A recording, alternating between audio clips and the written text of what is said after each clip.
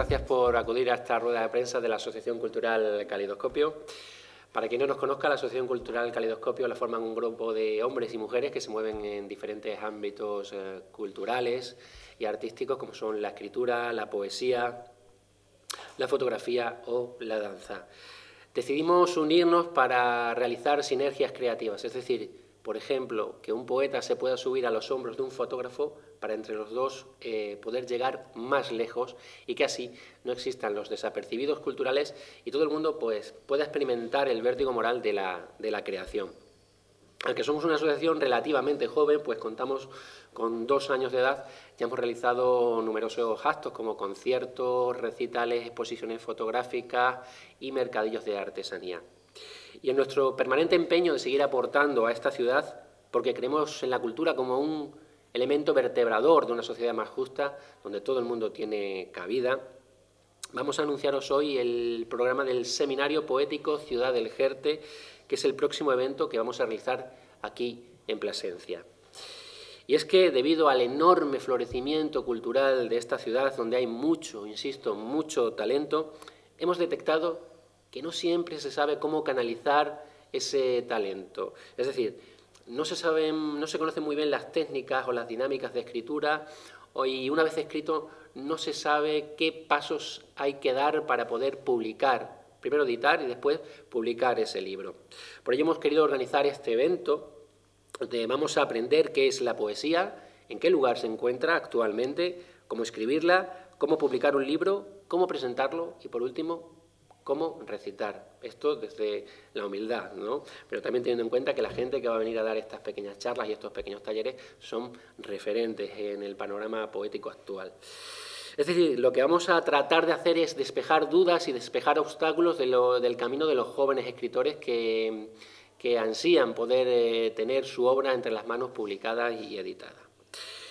Este seminario, que se celebrará en presencia en el mes de septiembre, de diciembre, de diciembre disculpad, contará con cinco actos que voy a pasar a comentaros brevemente porque después mi compañera eh, Marijose y, vicepresidenta de la Asociación Cultural Calidoscopio os va a detallar con más... Mm, con, más minuciosamente. Bueno, como decía, se dividirá en cinco actos. El primero es una mesa redonda donde vamos a charlar sobre qué es la poesía, en qué momento se encuentra, cómo abordarla. El segundo será una charla con coloquio con dos editoriales extremeñas, jóvenes y potentes, que hacen unas ediciones, la verdad que muy cuidadas y es algo, algo de agradecer que vayan a, acompañarnos. El tercero será un taller literario donde aprenderemos eh, reglas mnemotécnicas para, escribir poesía. El cuarto será una presentación de un poemario donde se nos mostrará eh, cómo poder exportar nuestra obra al público. Y el quinto y final será un recital donde podremos escuchar a dos voces poéticas eh, relevantes en Extremadura y así aprender a lanzar nuestros um, versos al aire de una forma sonora pero equilibrada. Hay que señalar que este seminario tiene un marcado acento extremeño porque la mayoría de los ponentes que, que vienen son de nuestra región. Personas que han sabido ver más allá del lenguaje común, que han comprendido que las palabras hay que lanzarlas más allá de la propia vida y no como un acto de, soberbia para permanecer en el, tiempo, sino como un acto de fe en el ser humano, para fundar nuevos mundos donde nunca falten las palabras y que signifiquen aquello para lo que han sido concebidas.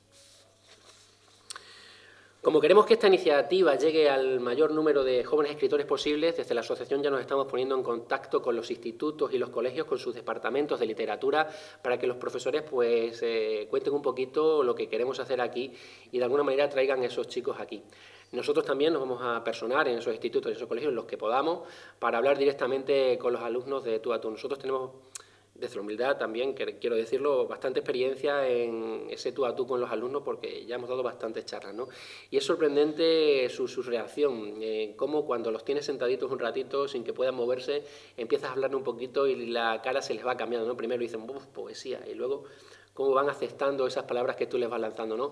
Y siempre, siempre, siempre hay un par de chavales que se acercan, te dicen, yo escribo, me gustaría que leyeras esto que escribo y que me dieras tu opinión, ¿no? Pues vamos a darle, además de nuestra opinión este seminario, vamos a darle las herramientas necesarias para canalizar su talento. Y en este apartado, el de la difusión, tenemos que agradecer eh, vuestra presencia aquí, porque la verdad es que siempre habéis apoyado no solo estos actos que nosotros hacemos, sino todos los actos culturales en Plasencia, dándoles así una relevancia y una cobertura mediática que es necesaria. También es de agradecer eh, la aportación económica que ha hecho la Diputación Provincial eh, de Cáceres, que gracias a ello este proyecto ha podido salir adelante y muchos jóvenes van a poder nutrirse de él. Y, como no, también agradecer la disposición constante de los más de 40 socios de, de, Calidoscopio que siempre están con la mejor de las actitudes, la mejor de las predisposiciones dispuestos a ayudar. Gracias a todos, amigos y amigas, por apoyar este proyecto que solo busca dignificar la palabra. Por todo esto que os he comentado, queremos hacer un llamamiento a todas aquellas personas interesadas en el mundo de la poesía, en mejorar su escritura, en saber cómo se publica un libro, en conocer a otros que hablen su mismo idioma literario, porque esto es una ocasión perfecta para conocer a personas, aprender, crecer como poetas y codearse con referentes literarios de nuestra región. Este seminario puede ser un punto de partida donde adquirir relevancia en la belleza, calmar el ímpetu del desconocimiento y latir dentro del pulso de la poesía. Este evento trata de ser, además de significativo, pedagógico, una ocasión para descubrir lo que somos capaces de hacer ante el reto del papel en blanco. También hay que mencionar que este seminario es totalmente gratuito, abierto para todo el público y todas las edades, aunque pueda parecer que está más enfocado para los jóvenes escritores, creo que todo el mundo, también los más experimentados, pueden nutrirse de él, porque el camino de la poesía es un camino, el que, un camino infinito en el que nunca se deja de aprender. Y ahora paso la palabra a mi compañera y vicepresidenta de la asociación, María José Muñoz, que os va a detallar un poquito más lo que vienen siendo las actividades.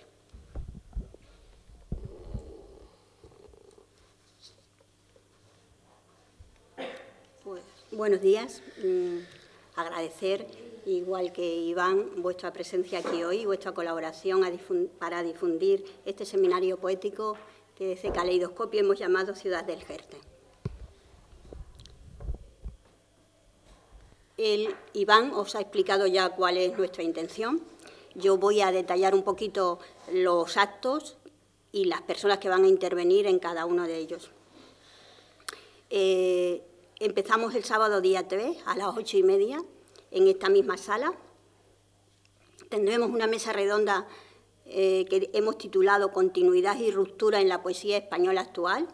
Intervendrán tres poetas importantes, Javier Pérez Gualia, placentino, licenciado en Filología Hispánica, que imparte clases de secundaria actualmente. Posee más de 15 libros publicados y varios premios. Además, ha participado en proyectos creativos con diferentes artistas, entre ellos el Premio Nacional de Poesía Juan Carlos Mestre. Eduardo Moga, quizá el único no extremeño, pero muy ligado a Extremadura. Es doctor en Filología Hispánica, licenciado en Derecho y diplomado en Estudios Avanzados y Función Directiva. Es crítico literario, traductor, poeta, conferenciante y colaborador en diversas publicaciones de prestigio nacional. Actualmente es el director de la editora regional. Y por último, en esta mesa redonda intervendrá también Mario Martín Gijón, pacense, licenciado en Filología Hispánica, ha sido profesor en la Universidad Alemana de Hamburgo y actualmente ejerce como profesor en la Universidad de Extremadura. Es escritor de poesía y de narrativa, novela y ensayo, también varias veces premiado. El segundo acto, cómo publicar un libro, tendrá lugar el sábado día 10 en esta misma sala e intervendrán dos editoriales extremeñas, Letour 1987 y Ediciones Liliputiense. La editorial Letour la dirige Mario Quintana y es una editorial con un exquisito cuidado en las publicaciones. Ediciones Liliputiense está dirigida por José María Cumbreño muy conocido en nuestra ciudad porque se encarga de organizar el encuentro literario de centrifugados. Ambas nos hablarán de los requisitos que ellas piden a los escritores para publicar, cómo llega el escritor a la editorial y además nos hablarán de su funcionamiento. El domingo día 11 tendremos un taller literario que lo dirigirá el poeta Jesús Celoy. Él no es extremeño, pero eh, ha estado aquí también con nosotros, eh, con caleidoscopio, mm, recitando. Es profesor de escritura creativa, poeta, ensayista, cuentista, novelista, filólogo e investigador. Finalista en 2011 del Premio de la Crítica con la profesión de Judas, prologado por Luis Alberto de Cuenca. En, 2006 fue finalista del Premio Nacional de Poesía con Berenice y actualmente dirige la colección de poesía Avena Loca de la editorial Amargor, un espacio donde editar primeros libros los autores noveles. Interesante ese punto también porque nuestra intención es que los noveles sean capaces de editar. El jueves día 15, en la puerta de Tannhauser, eh, presentará El último diente de leche, lo hará Iván Sánchez, eh, y es un libro del poeta extremeño Víctor Manuel Jiménez Andrada. Víctor Manuel es cacereño, ha publicado poemas y cuentos en diferentes revistas y antologías. Es creador de la Asociación Cultural Letras Cascabeleras, cuyas ediciones coordina. Y ha publicado también varios poemarios, entre ellos este, El último diente de leche, ganador del premio de poesía García de la Huerta. Y por último, tendremos un recital poético el sábado 17 a las 8 de la tarde aquí en Las Claras. Estará, intervendrán Sánchez Carrón y Basilio Sánchez. Ambos eh, son extremeños. Irene Sánchez Carrón es mm, de Navaconcejo, del Valle del Jerte, y Basilio Sánchez es cacereño. Ambos son premios Adonais y, bueno, eh, también premiados los dos con distintas, eh, distintas categorías. Y ya está. Bueno, pues si tenéis algún tipo de pregunta. No hay que inscribirse ni nada, ¿no? Exactamente, y además es totalmente gratuito. Si hemos querido que fuera una, una entrada más plural, que fuera algo más, informal que inscribirse y todo eso. Nada más. Pues muchas gracias, chicos.